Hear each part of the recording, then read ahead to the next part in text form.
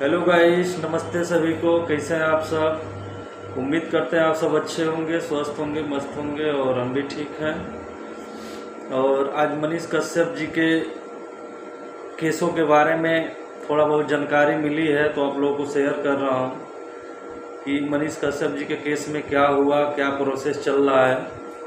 तो गाइस जैसा कि आप लोगों को बता दें, अट्ठाईस तारीख को उनकी फिर पेशी है। और बहुत सारे लोग मनीष कश्यप जी के समर्थक जितने हैं, उन लोगों के दिल में बस यही चल रहा होगा कि मनीष कश्यप भैया कब तक छूटेंगे, मनीष कश्यप जी का केस कब तक खत्म होगा। मतलब दिमाग में तमाम सवाल और न्यूज़ के ही माध्यम से आप लोगों को जानकारी मिलती होगी कि क्या हो रहा है मनीष कश्यप जी के बारे में। तो जैसा कि आप लोगों को बता दें, अट्ठाईस तारीख को पेशी है और इसके पहले जो पेशी था, उसमें कोर्ट ने उनको साफ़ तरीके से कह दिया है कि मतलब एनएसए जो लगा है, पुलिस वाले से खुद, पुलिस वालों से खुद पूछा कोर्ट ने कि आप किस आधार पर एन लगाए हैं? बहुत बड़ा केस नहीं है। एनएसए लगने लायक केस नहीं है। वो अपने संज्ञान में लेते हुए खुद कोर्ट ने ऐसा उन लोगों से पूछा है, पुलिस वालों से। तो इसको देखते हुए लगता है कि मनीष भैया का केस बहुत हल्का है और 28 तारीख को हो सकता है, कुछ अच्छा सुनने को मिले।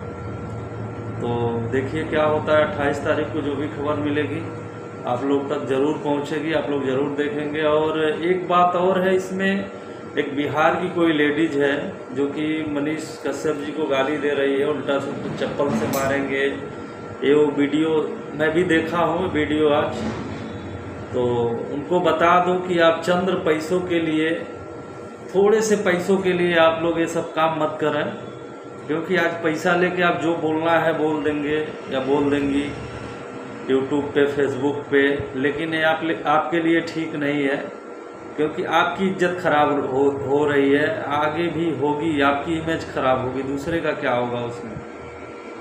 तो आप लोग ऐसा बिल्कुल मत करिए, और मनीष कश्यप जी के लिए कोई भी नुक्स खोजेंगे, गाँव से लेके उनका, शहर तक तो कुछ मिलने वाला है नहीं। तो बस यही है, अपने जवान गंदा करके खुद गाली दे दो आप लोग। गाली से कुछ होता नहीं है, लेकिन मनीष कश्यप सत्य है और सत्य के साथ सत्य ही लोग खड़े हैं, खड़े रहेंगे।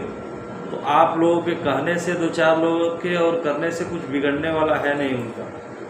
तो मनीष कश्यप जी के समर्थक जितने भी लोग हैं, आप लोग बस अपना इसे प्यार बनाए रखिएगा और मनीष भैया के फुल सपोर्ट में रहिएगा।